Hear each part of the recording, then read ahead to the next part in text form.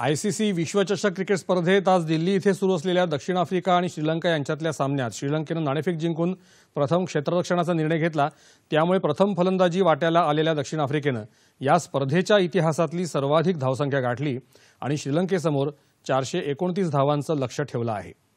दुसरीकडे धरमशाला इथे बांगलादेश आणि अफगाणिस्तान यांच्यात झालेल्या सामन्यात बांगलादेशनं सहा गडी राखून अफगाणिस्तानवर विजय मिळवला.